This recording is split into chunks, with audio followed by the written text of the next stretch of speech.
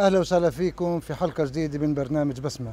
من خلال هذا البرنامج زرنا إحنا وياكم كثير من قرى وبلدات محافظة سلفيت.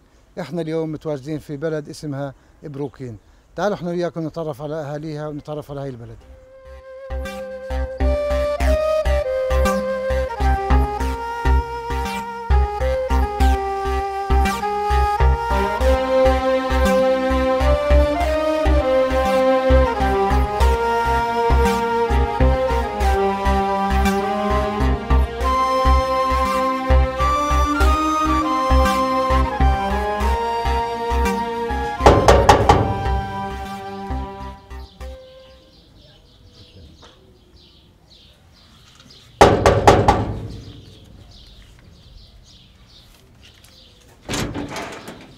السلام عليكم. عليكم السلام. كيف حالك؟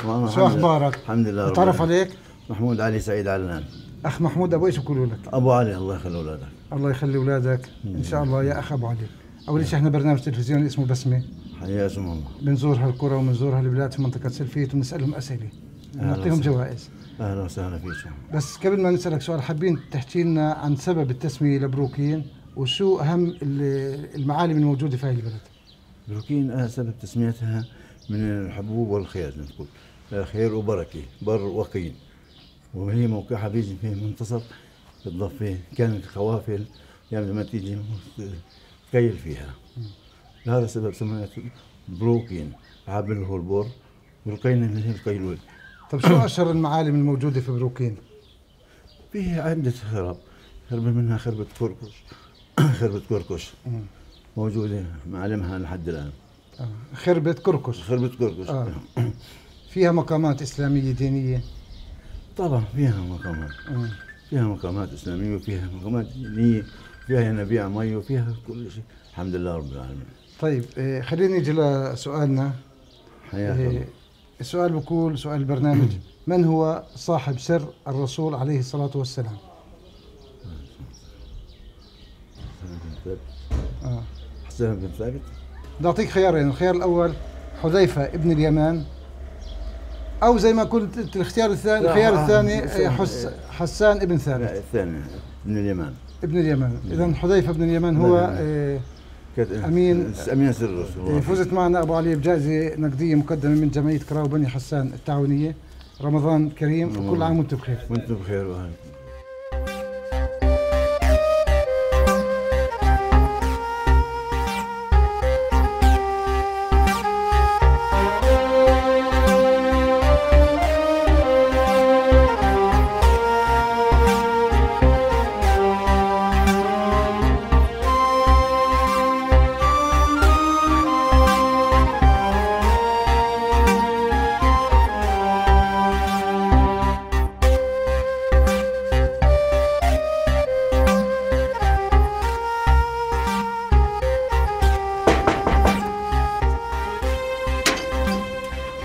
السلام عليكم. مرحبا يا حاج. كيف حالك تعال عندي هنا يا حاج تعال. شو أخبارك؟ نتعرف عليك؟ حافظ حسين ديب حج حافظ لف لي ظهرك شوي صغير هيك. خلي خلي للباب أيوه. إحنا برنامج تلفزيوني اسمه بسمة. أهلا وسهلا.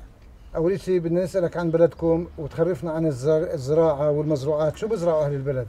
بيزرعوا زيتون. بتشتغل في الزيتون؟ آه شو كمان؟ وبيزرعوا برضه فلايح بفلحوا يعني. آه.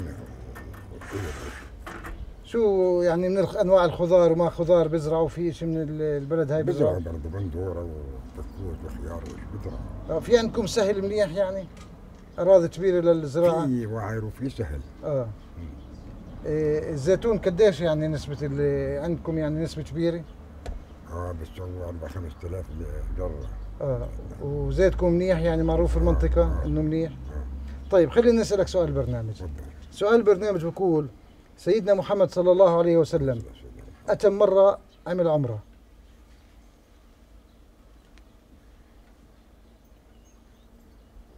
خلينا أساعدك مر- مرتين. طيب أنت بتحكي مرتين هسا لو جمعنا مرتين لا، ومرتين. جمع عمرة جملة مرات. آه أتم مرة؟ مرتين ومرتين أتم مرة؟ أربع ثلاثة لا. أو أربعة. لا بدي جواب دقيق وصريح. هي في حدا استنى استنى. استنى. بتأكد؟ متاكد أنت حكيك مزبوط 100% يا حج أربع مرات وفزت معنا بجائزة مالية مقدمة من جمعية كراوة بني حسان التعاونية. هي جائزتك وكل عام وانت بخير.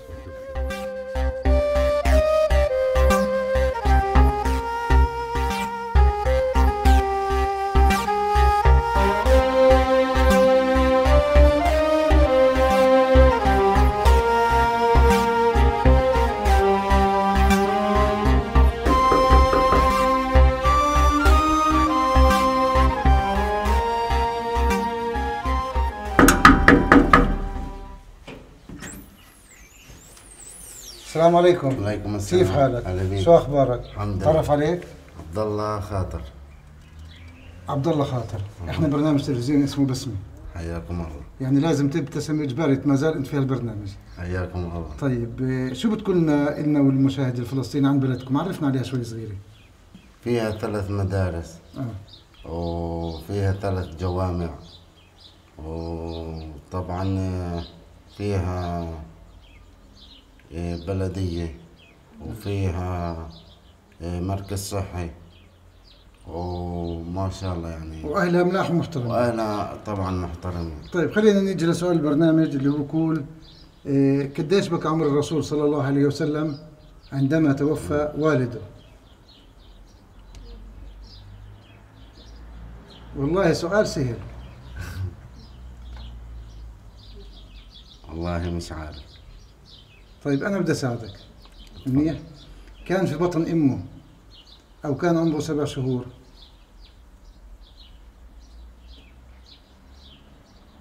كان في بطن أمه. ها شايف. ما زال أنت جاوبت معنا صح؟ والرسول صلى الله عليه وسلم كان في بطن أمه آه، حين توفى والده. فزت معنا بجائزة مالية مقدمة من آه، جمعية كراوي بني حسان التعاونية. رمضان كريم. كل عام وأنتم. بخير.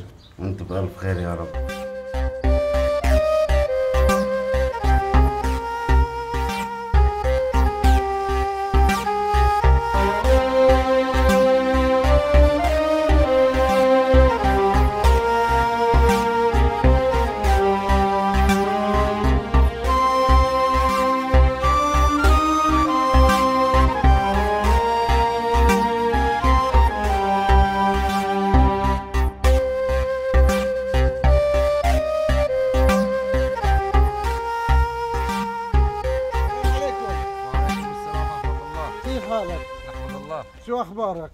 الحمد لله رب العالمين. شو هالقعدة الحلوة هاي؟ والله الحمد لله من فضل رب العالمين.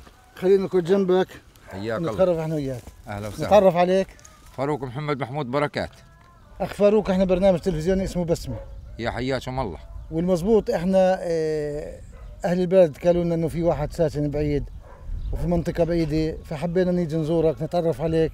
نتعرف إنه أنت ليش ساكن في هاي المنطقة؟ والله حياكم الله والحمد لله. أنا بكيت ساكن والله في البلد جوا هناك طريق آه، سلفيت بس المجاري تبعات الاستيطان آرائيل والمصوطنين عندنا هناك الريحة كتلتنا وما قدرتش أقاوم يعني وصابني مرض التهاب الكبد الوبائي وعندي بنت صابها سرطان في الدم وما قدرتش أظلها. جيت سكنت هان ولحتى ما خلونيش في حالي أنا جيش الاحتلال. لحقوني هان خطروني في الهدم فيهن وما هو الواحد عارف شو يسوي منهم وين يروح بيلحقوه ويعني الله يكون بالعون معنا عليهم.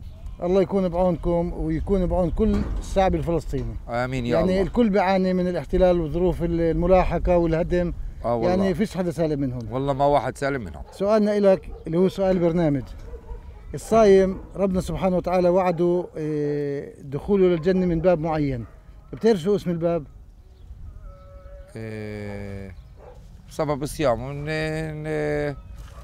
جنة عدن أنا بسمع لا خليني أنا أوضح لك السؤال أكثر. في باب في الجنة بدخل منه الصائم. شو اسمه؟ باب ريحان. لا مش باب ريحان. أنا بدي أعطيك خيارات. تفضل. باب الريان. باب ريان باب ريان. باب بدك ريان. خيار آه، ثاني خلاص؟ لا لا باب ريان. أنا قلت ريحان باب ريان. لا هو ريحان وريان قرابة بعض. آه. فزت معنا بجائزة نقدية مقدمة من جمعية كراوي بني حسان التعاونية. يا حياكم الله. وهيك خلصت حلقتنا لليوم من بلدة بروكين في برنامج بسمة. انتظرونا بكرة إن شاء الله ببسمة جديدة وحلقة جديدة.